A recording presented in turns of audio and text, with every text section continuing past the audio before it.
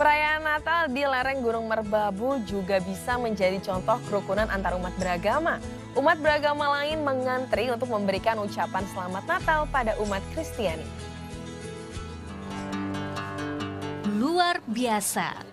Bentuk toleransi di Dusun Dekelan, Desa Batur, Kecamatan Getasan, Kabupaten Semarang, Jawa Tengah, Senin pagi.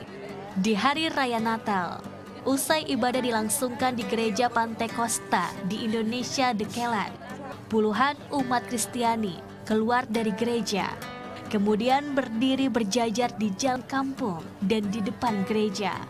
Umat Buddha dan Islam kemudian datang memberikan ucapan selamat Natal, menyalami seluruh umat Kristiani yang telah berjajar. Tanggapan kami bangga sekali dan senang karena di sana sini banyak di Indonesia ini yang tidak bisa seperti di Tekelan ini. Jadi nanti kalau Waisak, kami dari umat Kristen dan umat Muslim juga ikut memberi ucapan selamat seperti ini.